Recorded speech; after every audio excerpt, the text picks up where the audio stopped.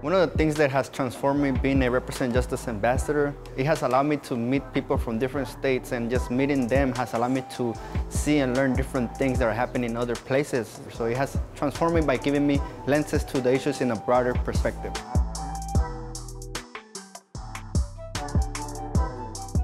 The power of storytelling is really appreciated here in this community.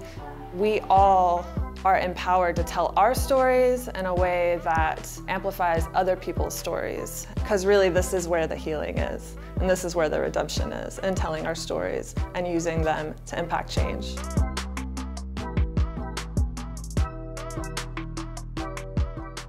Represent Justice has prepared me by teaching me how to zone in on my story. It's taught me that my story has power. It taught me that you can move minds, you can move hearts, you can move legislation. Since I've become an ambassador, everything have changed from computer skills to the way I talk, everything. So it's changed me throughout.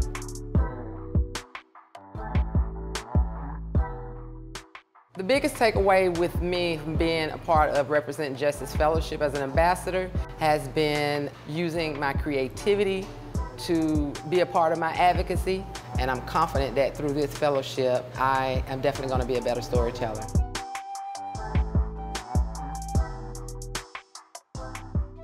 For me, the biggest takeaway has been that there are so many more people that see the power of media and the supremacy for me of narrative in you know changing things and so or correcting the narrative. I'm extremely grateful for the things I've learned to take this back to the work that I do in Wisconsin.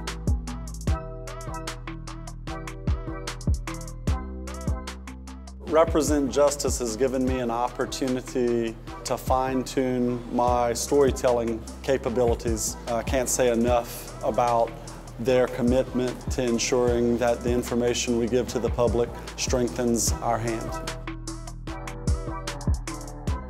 Cut. That's a cut.